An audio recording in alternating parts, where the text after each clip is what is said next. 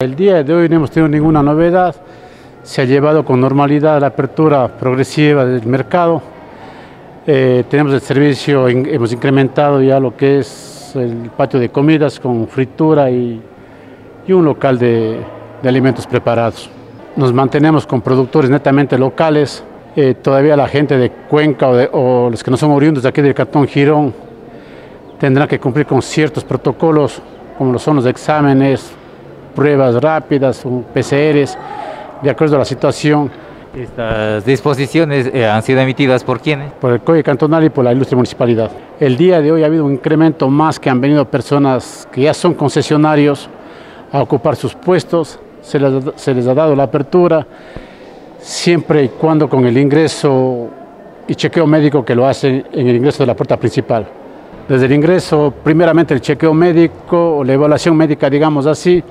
la desinfección tanto de los productos, estamos fumigando los vehículos también y todas las personas ingresan con control del, túnel de desinfección en caso que así lo quieran. La temperatura también se los toma también. Que vamos a tener aquí el mercado abierto los días jueves, sábados y domingos con aforo de un 30% de,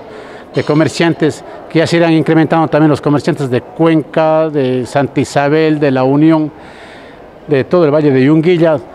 inclusive la gente que viene también de Nabón con sus harinas, con sus, con sus productos. Entonces es, importante que las personas también vayamos también concientizándonos y vengamos de una manera paulatina o, digamos que tomemos un día jueves, podemos hacer un día sábado o un día domingo.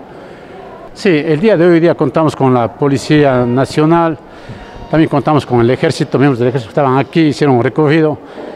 Igualmente también eh, tenemos ahora la disponibilidad de un vehículo que nos aporta la municipalidad para hacer un recogido y control de los ambulantes. Creo que tenemos la oportunidad como comisaría municipal